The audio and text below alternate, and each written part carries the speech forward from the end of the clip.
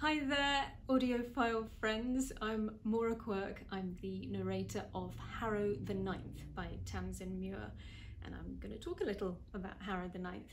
Um, Harrow the Ninth is the sequel to Gideon the Ninth, and Gideon the Ninth was described as lesbian necromancers in space, which it was, um, but I kind of approached it more as a country house murder mixed with uh, Charlie and the Chocolate Factory, because um, it was odd like that.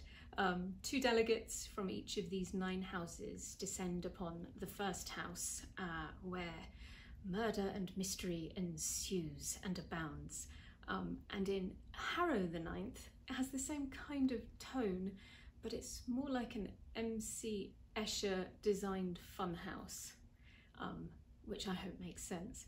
Um, I would say that you probably need to read or listen to Gideon the Ninth first because everything you know about that, everything you understood about that world will be entirely challenged in Harrow the Ninth. You might find your mind melting a little bit, um, but it's all good.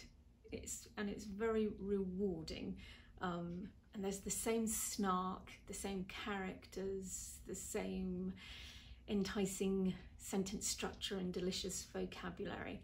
Um, give it a try. I think you will have a good time. I know that I did.